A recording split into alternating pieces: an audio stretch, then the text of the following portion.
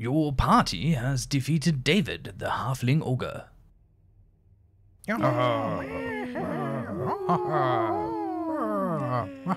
As you explore the space, you'll find a hidden crack in a wall behind some boxes. You can fit through the opening and find yourself face to face with Urgoth, the World Devourer, fast asleep on his hoard of gold. You have heard the tales of this most ancient evil wreaking havoc and destruction upon the kingdom of Dole. Entire armies have withered before it, and even the greatest heroes of the age were felled by a mere flick of his scythe like claws. What do you do? Ah, uh, are you sure?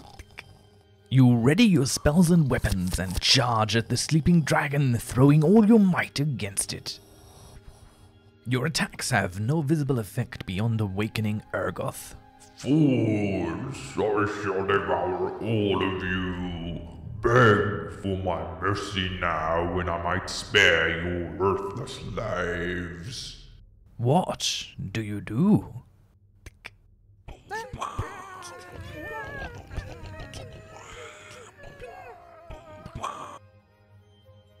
Does this sound familiar? Have you ever tried to take on the ultimate evil far too early and simply could not defeat it?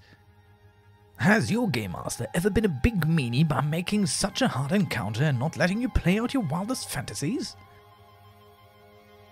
Welcome to Imp TV. I am your Imperor and have the solution for you. I am here with a one-time only special offer introducing for the first time on Imp TV and indeed the world, Just Retreat.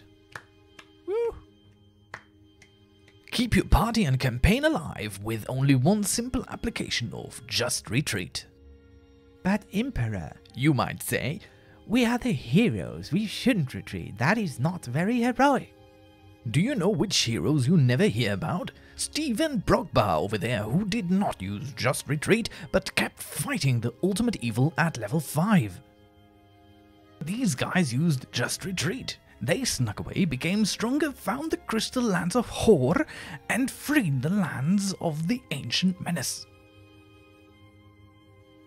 You may think that fighting and winning every fight is the only way to experience and move a story of heroic feats and incredible twists forward.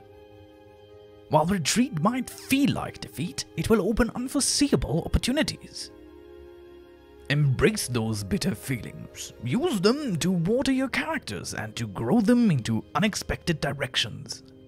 Your healer might struggle with letting the party down, becoming irritable and suddenly has outbursts of anger as a reflection of that sense of failure. Maybe your monk notices this and takes the party on a journey of self discovery and facing their inner demons, allowing them all to grow and heal. The really great stories of our times have bad turns for the heroes to allow them these stark changes and opportunities for growth.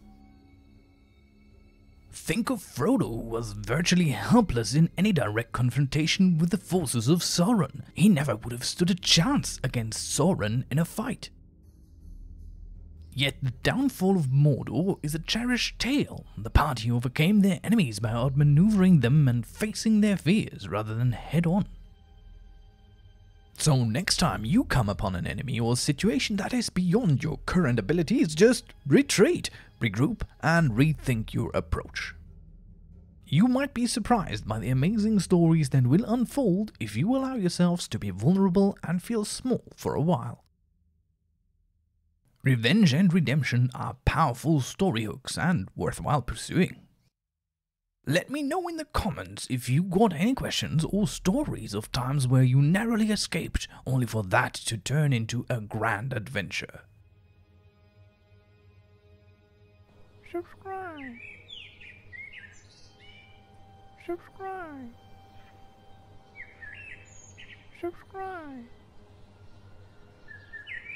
Subscribe.